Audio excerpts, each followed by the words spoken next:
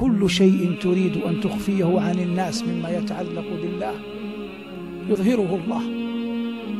وكل شيء تريد أن تظهره مما يتعلق بالله. تريد من الناس أن يعلموه وهو يتعلق بالله. يخفيه الله. ولا يبقى إلا ما أريد به وجه الله.